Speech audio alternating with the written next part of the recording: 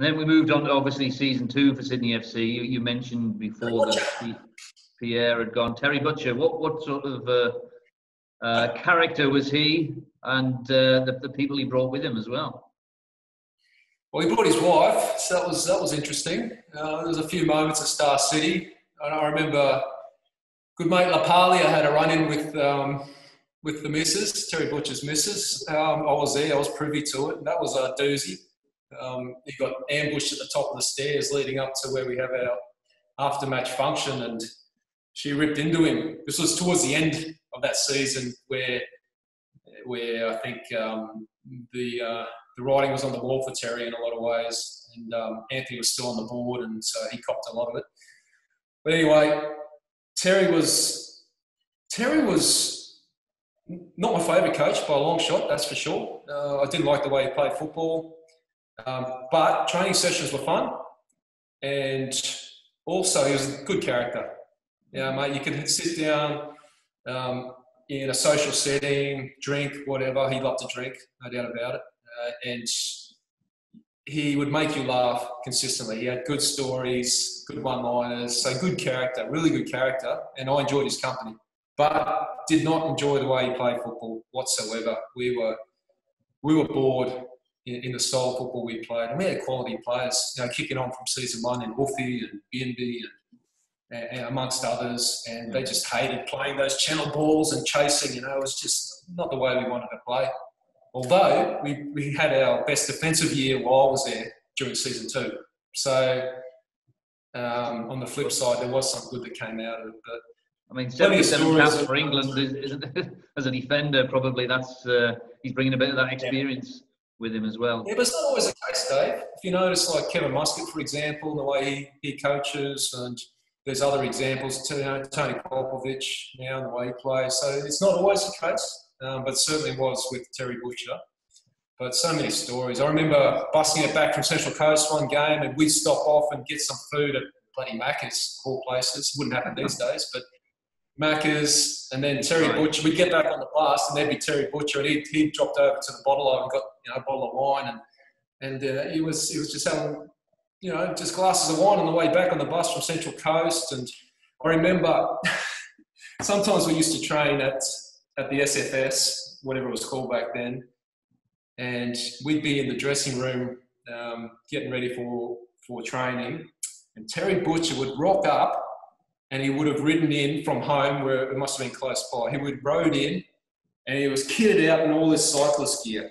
And it was just cycling pants, uh, left nothing to the imagination. He'd walk in with his bike and, uh, and we, we just look at him and we just couldn't take him seriously.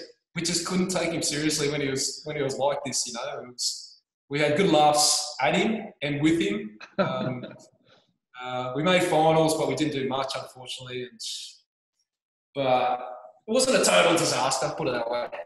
For the next few seasons, I mean, there were a lot of uh, characters. You had you had Branko Culina, you had Chilina, should I say? You had Juninho, Benito Carbone came and joined the club. John Kosmina, John Aloisi came in, and there, there was some there was there was some absolute characters, great footballers, great football men. I mean, those seasons, even though there was no silverware, they must have been fun times to play in. Ooh. Maybe not. Certainly, good bunch of players still. No problem there. We, we got along, no problem. Uh, Juninho, well, did not lighting it up on the field. Uh, didn't score a lot of goals, maybe late on a few, but he, he certainly didn't set the world alight here in the A League. Um, but Benito Carbone was phenomenal. Only played three games as a guest player, but he was he was good fun. He hung out with us as well and got to mix with him, so he was fantastic fun. Um, coaching wise, the environment very different under the two names that you mentioned, Branko and, and uh, Kosmina. Very different. But you know, I've, I've had other coaches where I didn't necessarily buy into, that didn't affect me in the way I played football. So I just get on with business and, and such. But but it was different, you know. It's just when, when you when you've got a coach that you really buy into, respect, want to play their style of football, it just makes for a totally different environment. then season five came along, and there was another coach, Lavicka, came in, who was a, from my memory, a very quiet man, uh, considered man, perhaps, and he brought more silverware in his first seasons. So that and a, and a thing that the club had never achieved before, which was winning the Premiership. Yeah, yeah, he was, uh, yeah, very much what you said, quiet, considered, and one of the most beautiful people I've ever met, to be quite honest. Um, humble, warm, caring, and a guy that beyond being a coach just wanted to to know about you and and invested in you as a person and he was he was a really beautiful human being. The season five was a tough one for me personally um, because because of my situation, contract was up, so I just got on with business until I realised about a deal being done with Liam Reddy. You know, this this is turning out to be what I never expected, to be quite honest. And so I had all that to deal with. By this time, I'd broken up with a partner. I was living with Striller, um, wasn't at the club anymore. He was he was heading into his SBS career, his post football career in the media and that. So I was living with him at Tamarama, and there's a few people during that season that kept me sane, kept me on track. He was one of them. Big big help and just being an outlet for me, um, just talking to me and, and and such. And there was a couple of others, especially within the team like Bimby and JA in particular, even Foxy when he was in Terry, Terry McFlynn. So, so I think it was must have been the end of January. I think Vitezslav pulled me into his office at uh, Macquarie there, and I knew straight away what it was. And I remember his opening lines. Opening line was, "This is one of the hardest things I've had to do in football." And then he went on to say whatever he did, we're not going to resign you or whatever. Um, and I can't remember what he said beyond that because I was just in shock. Even though I knew it was coming, I was still, when it happened, I was in shock. and beyond that, the next three weeks, that was done. Went home, just reeling, can't process what's going on. For the next three weeks, you know, you go through the stages of emotions where initially it's just shock, and then the next step's anger. And I was, don't come near me for three weeks. About three weeks it was.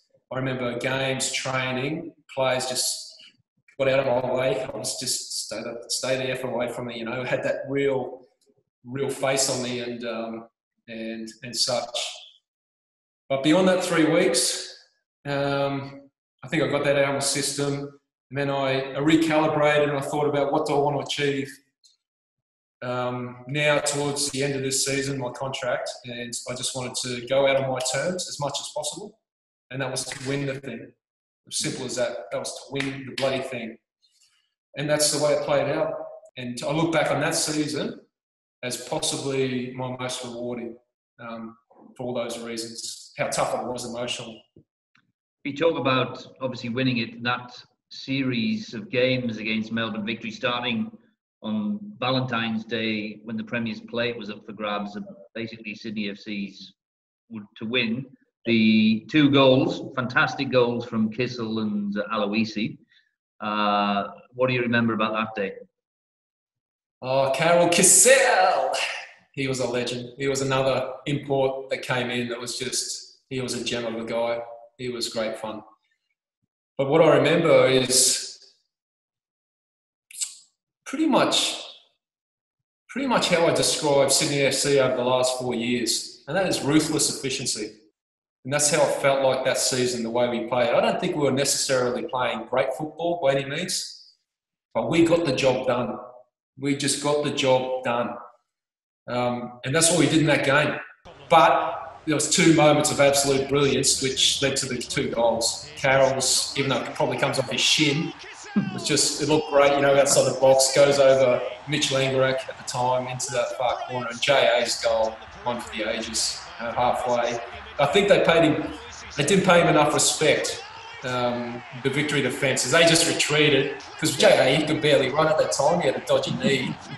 He thought, you know, he'll run a bit, lay it off or something, and and go on about his way, but he just kept going. No one came towards him, so it just kept going and going. And and once he got within range, you know, he's, he's every chance of hitting the target. And what, he, what a shot it was, just bending away from Mitch Langerak into that left hand side. And um, we just got the job done. Yeah, so it was nice, nice to win the premiership. But at that time, I think there's as the season's gone on to now, the Premier's plate has, has gotten a lot more recognition than what it had back then.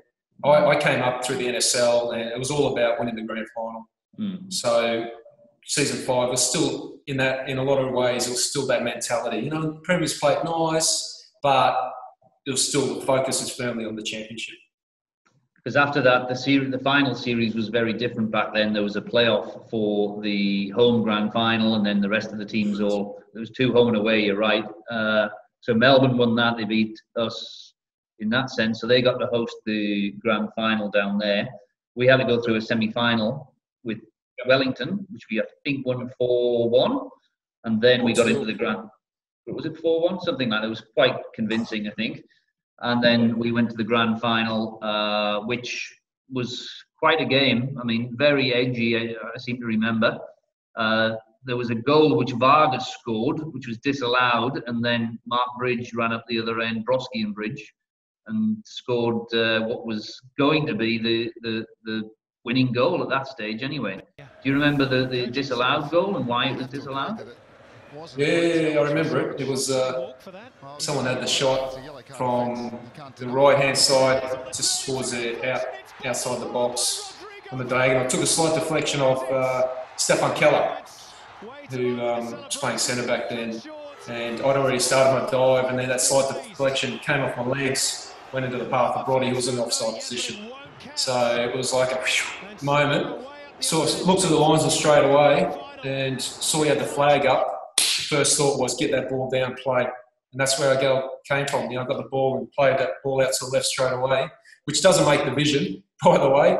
I was all, you know, I'm looking for a different camera angle to show that what happened, but it was a quick ball out, and then then the rest is history. Um, but the equaliser goal, I was cooking that because how many times does Kevin Muscat take quick free kicks? We talked about it. It was the last thing we said before we went out. Switch on free kicks around the box. Muscat plays them quick.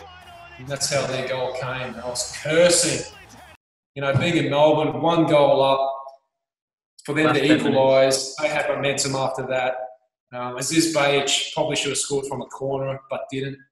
Um, and it just felt like we're on edge. You know, we're right there on the edge, on the precipice, and we're, we're going to get done. That's what it felt like. But we consolidated defensively enough and then through extra time was pretty much a write-off. There was, wasn't many chances, if any. So I think both teams had set our sights on penalties from a long way out. So it wasn't a high quality match by any means. And in the end, I think we were a little bit thankful we went to pens, you know, after they scored that equaliser. Because everyone always remembers that first penalty from Kevin Muscat hitting the, the post and the clank and the shrug of the shoulders from yourself do you remember? Did you put him off? Did you try and put him off? Or what were you saying to him? Was that your style to put people off? No, I don't say anything. I'm not a.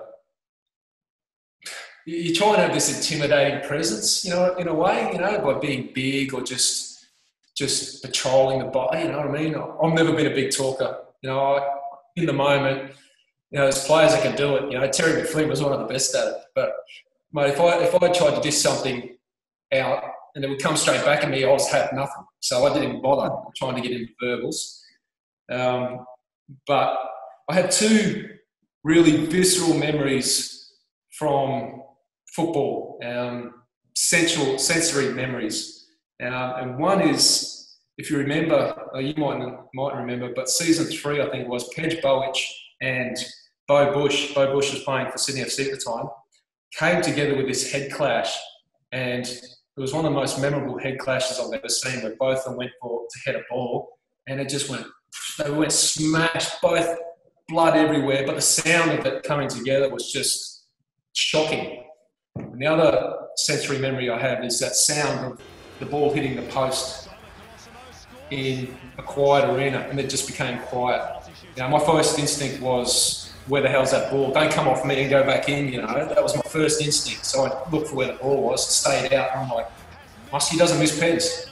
What's going on here? Muskie doesn't miss pens. And that's why the shrug of the shoulders came about. I was like, huh, maybe, know, maybe this is, and again, I don't believe in fate, but maybe it's meant to be. So that's where the shrug of the shoulders came from. And the funny thing is, I joke with Redders all the time.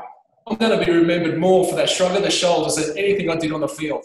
And he comes back at me with the Wiggles dance. Yeah, of course, this is what I'm going to be remembered for. So it's, it's we have this uh, running joke. It's, uh, good times. As you say, a lot of people might have forgotten, but then Shannon Cole missed the penalty, so it was level, and then Angulo came up and you actually saved the penalty, which effectively won the game. Obviously, you had to go and put one in the back of the net, but that was the penalty winning save, if you like, that you made. Yeah. Comfortable save in the end, it felt. I always felt like if I went the right way, I was a good chance of saving it. So that was pretty much how that played out. But my other memory of that penalty shootout was the winning goal from Sung Hwan Byun, um, who used to sit next to me in the dressing rooms. And uh, he always wanted to be called Sung Hwan, that was his name, but everyone called him Byun. So he was a bit annoyed at that. I'd always call him Sung Hwan because I understood that that's why he wanted to be called. But anyway, if you see the vision, he see we, were never sure if he was a left-footed player or right-footed player because he, he was very comfortable on both feet. He played on the left-hand side, but very comfortable with his right foot. When he backs up from putting that ball down on the spot, he backs up as if he's taking it with his left foot. So it sort of looks like a left foot runner. He then proceeds to walk around to the other side and takes it with his right foot. I'm going, that's unbelievable.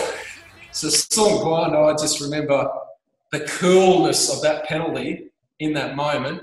He was, he was unheralded in a lot of ways, really was. And there was a lot of unheralded players within that team. I think about Shannon Cole doing the job on that right hand side for most of the season. Stephan Keller, solid centre back, just did his his job. Um, those Seb two Ryall come to mind. Would have only What's been that? a young Seb Ryall would have only been a young kid at that time. Yeah, he was there as well, and and a trivia question to come out of that grand final was who's the who was the A League player to make his debut in a grand final? You know, towards the end of that match, Joe I, Gibbs was I looked the, Joey Gibbs. I looked to the sideline. I saw someone coming on for us, and I was like, well, I don't even know your name. He's coming on to play his first game in a final. I barely knew his name at that time. It was just so there's, there's nice little stories in around that grand final. But yeah. I remember breaking down as soon as we won it. I just broke down. I was emotionally just spent, and uh, oh, I just couldn't believe we actually achieved what I'd hoped we would achieve, considering what I went through throughout the season. And uh, to do it away from home was a totally different experience to doing it at home but just as rewarding to shut them up. You know, it was silence and it was quiet. It was nice. So both celebrations, yeah, fantastic, for, but for different reasons. And then obviously, obviously you left, but uh, a few years later you were back and, and, called into the Sydney FC Hall of Fame and as an inaugural member. What, what, how pleasing or proud were you for that? To 15, wasn't it? 15, yeah. Um, 10 year anniversary. By then, all the anger and frustration had gone, and I got the call to come and be a part of the 10 year anniversary and, and all that. And I remember the setting out on the SFS. Again, I'm not sure what it's called, SFS. I call it the SFS. Had that big long table, and I thought, oh, this is nice, you know, and all that. And a few of the old boys were there, Roods and Tezza and Bimby, and a couple others, Fifey, Fifey, the legend, Ian.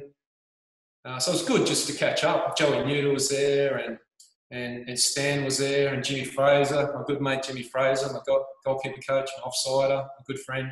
So it was just good to catch up because um, I hadn't caught up with a lot of those people. And and then they up on stage, and we're going to open up this Hall of Fame, and I was, I was looking around me, I was seeing which players are around, what, what's going on. Maybe this is, oh then something triggers, because I was living in Melbourne, am I getting into this Hall of Fame? Because they flew me up and asked me to be there. So all of a sudden I was like, geez, I better put the jacket on and straighten up. Who knows, you know? um, but uh, yeah, so the name got called out, and I was really stoked, to be quite honest. Really stoked. Yeah, really pleased.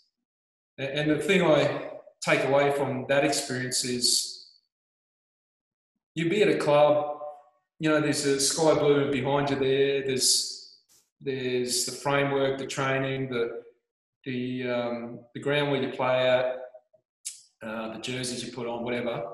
Ultimately, the experience, what you get out of the experience, comes down to the people you work with. Mm. And I worked with some brilliant people during that time. Some some really long lasting friendships made, and, and and when you come together again and you reminisce and you talk about this, you you just can't help but enjoy. And you talk about the good times and and you laugh off the bad times and all that sort of stuff. So so it was a great moment where I realised if there's anywhere I call home in fo- within football, it's Sydney FC. Fantastic. I don't think there's a better place to end it. Obviously, you're always welcome back, Clint. When the season starts up again and uh, uh, we can finally claim that Premiership title and then onto the championship. Come on, Bimby. Um, yeah, Bimby's uh, gone back to back. We'll, we'll we'll get you guys back in and um, we'll have a big celebration. So thanks very much for joining us, Clint. It's been fantastic to hear from you. Some really insightful stories and memories, and uh, it's been a pleasure hearing from you. Cool, mate. Pleasure's mine.